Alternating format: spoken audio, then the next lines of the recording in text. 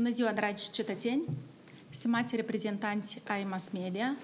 Subiectul la care ne vom referi astăzi l-am abordat cu ceva timp în urmă în cadrul unei alte conferințe de presă și ține de situația tensionată provocată în raionul Dubăsari de către regimul separatist de la Tiraspol și acceptată în mod tacit de președintele raionului Dubăsari, Grigore Filipov situație nesoluționată până în prezent de către guvernarea incompetentă de la Chișinău.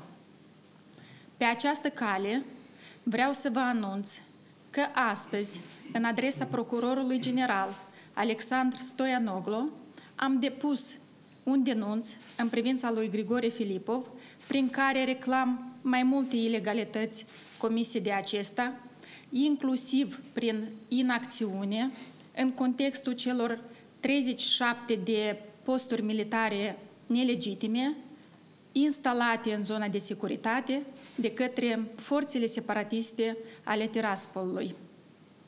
Contrar atribuțiilor funcționale, președintele Raionului a permis autorităților nerecunoscute ale Transnistriei să ocupe teritoriile satelor Roghi, Vasilevca, Corjova, din raionul Dubăsari, subordonate de drept autorităților constituționale de la Chișinău.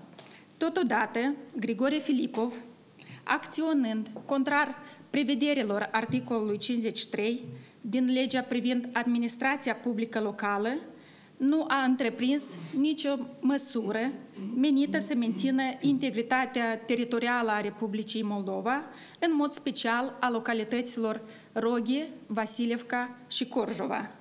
Grigore Filipov nu a respectat și nu a asigurat respectarea Constituției și nici a actelor normative care reglementează nemijlocit atribuțiile președintelui de raion. În același timp, nu a sesizat Inspectoratul de Poliție, responsabil de ordinea publică, privind înlăturarea obstacolelor create artificial de către forțele separatiste de la Tiraspol, obstacole care îngrădesc drepturile și libertățile cetățenilor din aceste localități, în mod special dreptul la libera circulație, dreptul la muncă și dreptul de proprietate. În consecință, la 24 iunie 2020, în localitatea Coșnița, la inițiativa Asociației de Veterani Dubăsari 1992 a fost organizată o ședință în comun cu reprezentanții raionului, în urma căreia veteranii au adoptat o declarație, astfel manifestându-și îngrijorarea față de irresponsabilitatea și comportamentul inadmisibil și batjocoritor al președintelui raionului Dubăsari, Grigore Filipov. Țin să accentuez repetat indignarea față de atitudinea sfidătoare a președintelui raionului Dubăsari prin declarațiile sale oferite postului de televiziune TVR Moldova, acesta făcând referire la o convorbire între Igor Dodon și Vadim Krasnoselski și aici citez. Localitățile Vasilevca, Roghi și Corjova se consideră ca fiind parte componentă a Transnistriei, sunt la ei la evidență, de asta noi nu putem să ne luăm nicio obligațiune. Noi cunoaștem foarte bine despre Igor Dodon și docilitatea sa față de Putin, dar acum vedem cu câtă ușurință se transformă în sluga servilă a lui Krasnoselski și nu de unul singur, ci la pachet cu Grigore Filipov, președintele raionului Dubăsari, demnitarul care deține și așa zisa cetățenie transnistreană și care a jurat pe așa zisa Constituție că va servi statul fantomă.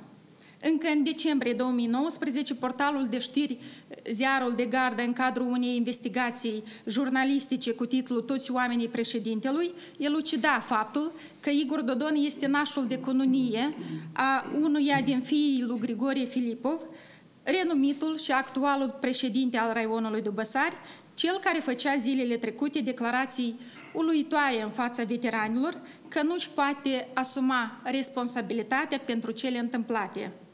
Este mai mult decât clar pentru noi Igor Dodon și-a promovat în funcții înalte doar persoane loiale regimului de la Kremlin, exemplul lui Grigore Filipov, inclusiv cu prețul pierderii securității statului și integrității teritoriale, pentru care mii de cetățeni astăzi ajunși veterani ai războiului au luptat cu arma în mână.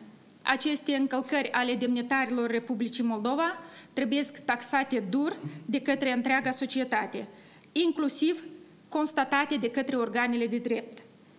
Toate persoanele implicate tacit în instalarea unilaterală a posturilor de control ilegale și în blocarea circulației a circa 50.000 de locuitori din localitățile acestei regiuni trebuie în mod urgent deferite justiției.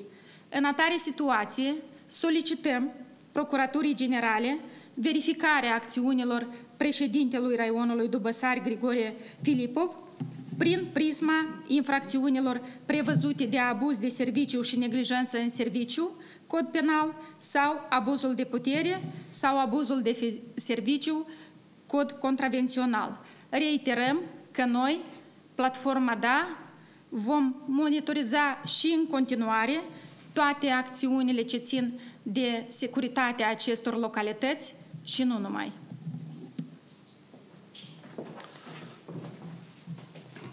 Bună ziua! Un lucru trebuie să fie clar, permanent. Platforma de imitat și adevăr va avea o poziție intransigentă întotdeauna față de ilegalitățile care se produc în Republica Moldova, în special față de personajele care au atribuții de a lua decizii în acest stat, dar de fapt se conformează unor interese absolut personale.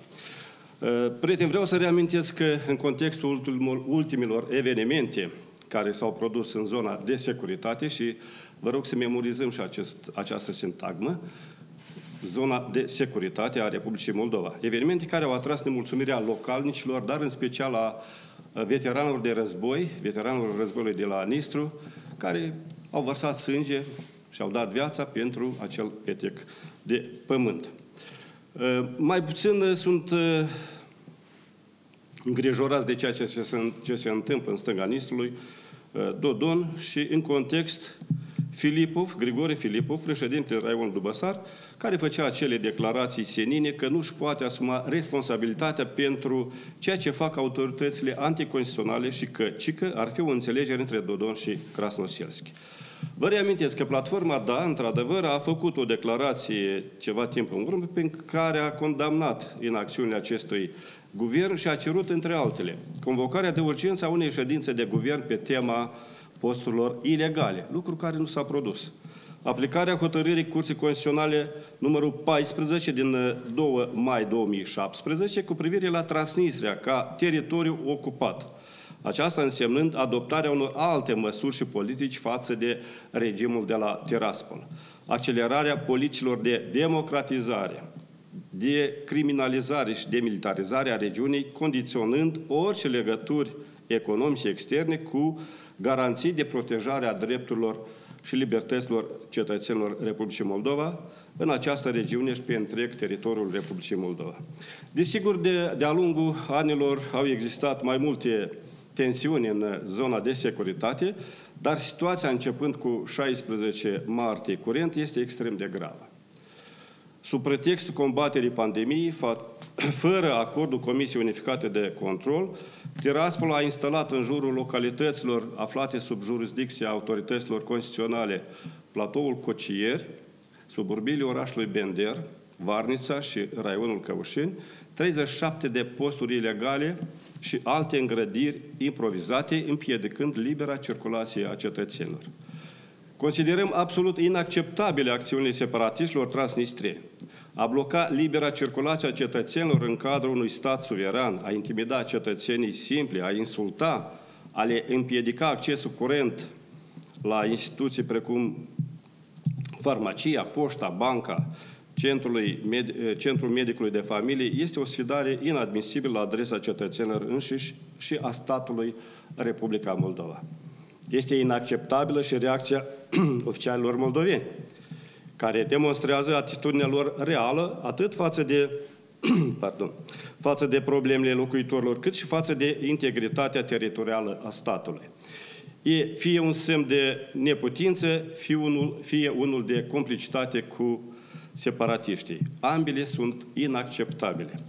Tot inacceptabil este și neglijarea solicitărilor veteranilor de război. Anume, ei sunt cei cărora le datorăm menținerea suveranității.